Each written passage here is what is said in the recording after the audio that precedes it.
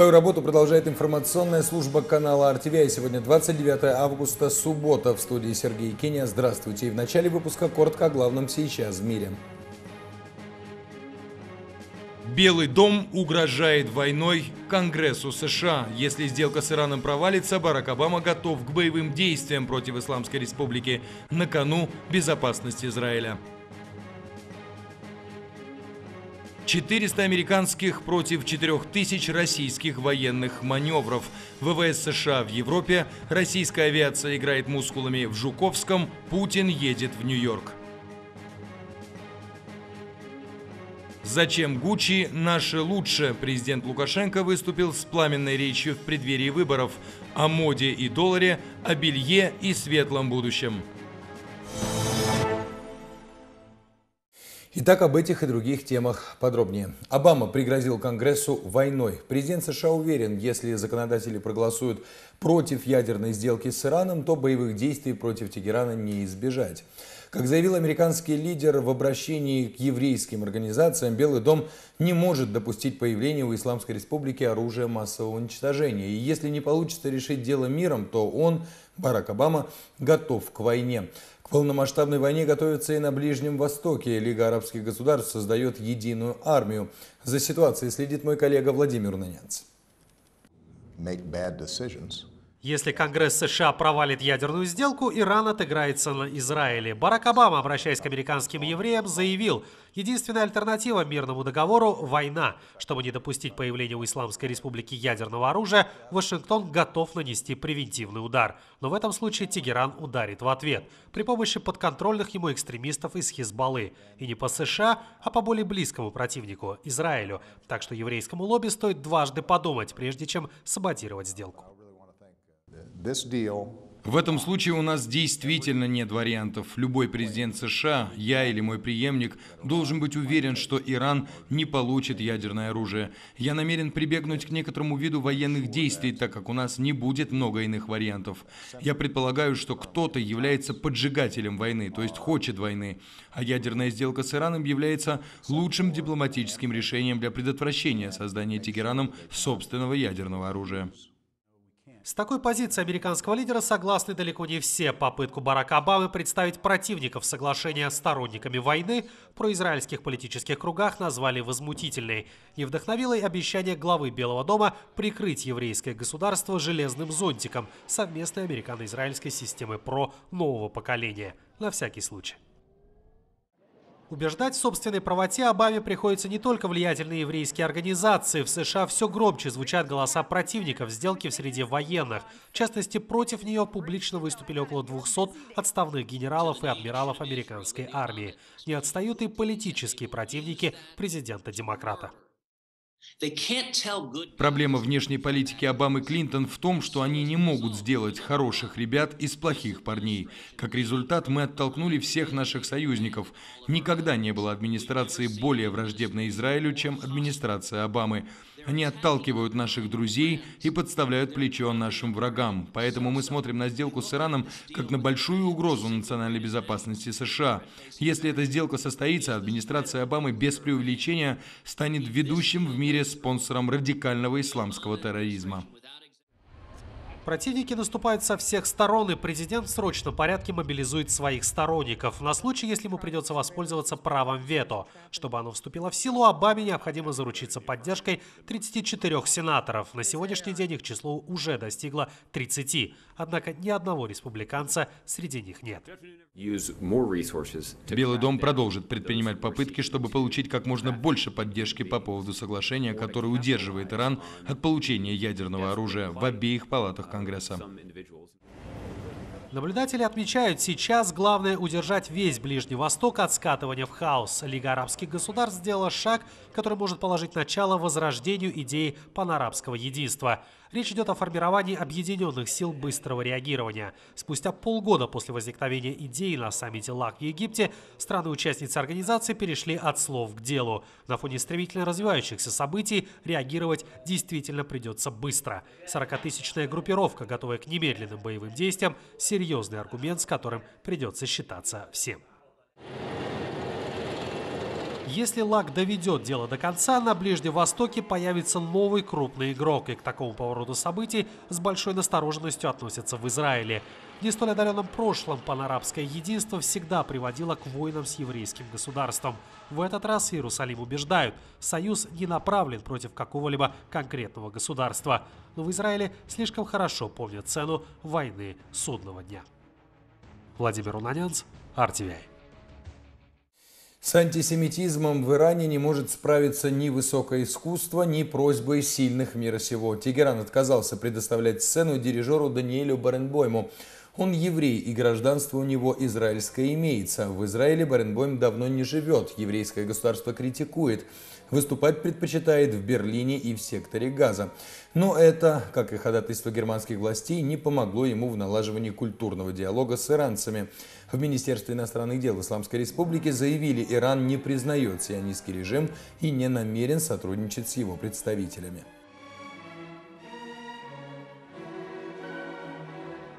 Концерт должен был состояться в октябре во время визита в Тегеран канцлера Германии Ангелы Меркель. Американские истребители пятого поколения F-22 Raptor в Европе такого еще не было. Четыре F-22 и военно-транспортный Boeing C-17 Globemaster 3 прибыли на авиабазу Шпангдалем в Германии. В штабе ВВС США сообщили, что американские самолеты будут участвовать в тренировочных полетах и отрабатывать взаимодействие с подразделениями других стран-членов НАТО. Учения, как ожидается, продлятся до середины сентября. Впервые о возможности переброски в Европу истребителей F-22 сообщили в июне на авиасалоне во французском Лебурже. Так США решили продемонстрировать свою мощь Москве.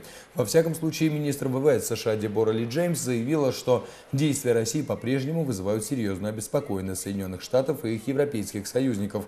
А размещение F-22 в Европе усилит возможности военно-воздушных сил НАТО. Россия резко отреагировала на планы США, обвинив Вашингтон в попытке втянуть Москву в новую гонку вооружений. Многоцелевой истребитель пятого поколения F-22 Raptor был принят на вооружение ВВС США в 2005 1995 году. При строительстве самолета использовалась технология стелс, делающая его практически незаметным для радаров противника.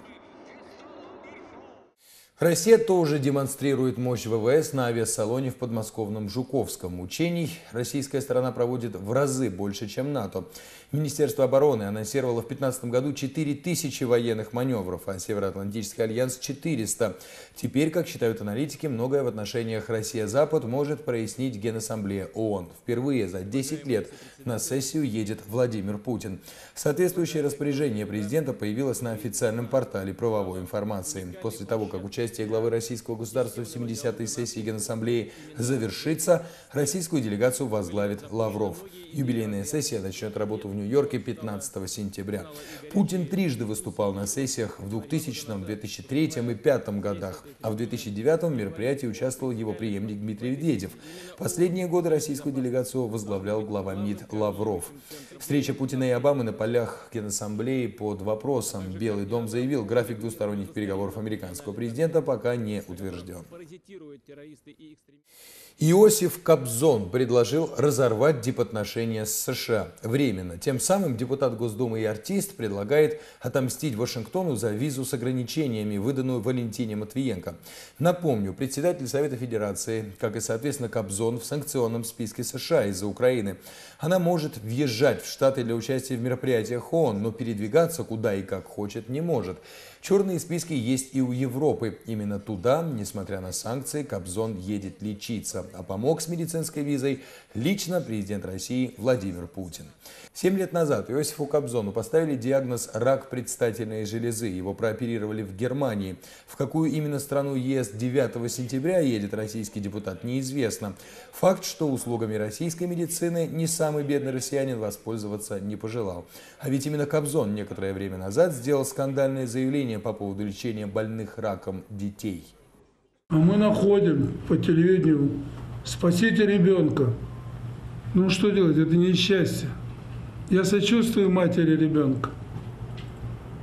Но для того, чтобы собрать валюту и вылечить ребенка, может быть целесообразнее. Не потому, что там не обращать внимания этого больного ребенка, а может быть целесообразнее по приоритетности собрать средства и помочь Крыму. Кобзон неоднократно посещал сепаратистские ДНР и ЛНР в обход законодательства Украины, не получая разрешения Киева. Артист и депутат вызвал на словесную дуэль украинских президента и премьер-министра. «Я готов сесть и с Порошенко, и с Яценюком за стол и посоревноваться, кто и сколько знает поэзии на украинском языке. Они декларативно выступают». Это была цитата. Корпорация Apple отказалась перечислять выплаты разработчикам из России, которые имеют счета в Сбербанке. Компания разослала соответствующие письма OS X и iOS и предложила поменять платежные реквизиты. В уведомлении сказано, цитирую, «Указанный вами в iTunes Connect банк попал под прямое действие ограничений. В результате мы вынуждены приостановить любые выплаты до тех пор, пока вы не укажете счет в том банке, на который не распространяются ограничения. Чтобы обновить платежную информацию, зайдите в раздел Agreement, Tax and Banking на сайте iTunes Connect. В компании все это объяснили тем, что в отношении российских банков действуют санкции США и ЕС. Зачем доллар и Гуччи? Президент Беларуси задается вопросом. Александр Лукашенко призывает граждан не гнаться за модой, а ходить в белорусском нормальном белье и одежде. Он осудил молодежь, которая носит джинсы с дырами. Пламенную речь Лукашенко произнес на встрече с сотрудниками Барановичинского производственного хлопчатобумажного объединения. Он отметил, что в преддверии президентских выборов мог бы сказать, что в стране все хорошо, но этого не делает. Правда, добавил, в 2016 году будет лучше. А кому сейчас легко? В Китае, России, в Казахстане, не говоря уже об Украине, везде проблемы с национальной валютой. Государство, пообещал президент, не будет искусственно держать белорусский рубль, он уже в свободном плавании. И чтобы Беларусь справилась с трудностями, Лукашенко призвал не бегать по обменникам. Не бегайте вы по этим обменникам, вы создаете лишние проблемы. Давайте поживем на своем, вот что в наших магазинах есть, поживем на своем и, отдохнем эти годы у себя в Беларуси.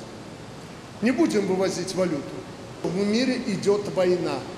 Если я раньше, вот вам искренне говорю, ну просто меня трясло, когда я видел изменения этих курсов, валют и прочее, сегодня меня волнует больше другое. Удержаться бы. Турция готовится к досрочным парламентским выборам. Они состоятся 1 ноября. Поводом для распуска предыдущего парламента стало заявление премьер-министра Ахмета Давутоглу о том, что сформировать коалицию невозможно. Однако все это не помешало президенту Раджепу Таипу Эрдогану утвердить предложенный тем же Давутоглу состав Временного правительства. В Кабмин войдут два представителя прокурдской оппозиции. Я напомню, что Народно-демократическая партия Турции Салахадина Демирташа впервые попала в Меджлис в результате последних выборов. Во многом из-за этого партия партия справедливости и развития Эрдогана не смогла получить в парламенте абсолютного большинства, и новые выборы выгодны президенту, так как им предшествует кампания борьбы с террором. И снова главным врагом Турции объявлена рабочая партия Курдистана. Ее боевики обвиняются и в сегодняшнем теракте неподалеку от границы с Сирией. Не менее 24 человек получили ранения в результате подрыва автобуса с полицейскими. Естественно, что антикурдские настроения в обществе растут, и шансы партии курда Демирташа повторить успех на ноябрьских выборах снижаются. Это были все темы, о которых мы успели рассказать вам к этому часу. Продолжайте следить за развитием событий. Ну что ж, у меня на этом все. Я прощаюсь с вами до завтра. Всего вам самого доброго.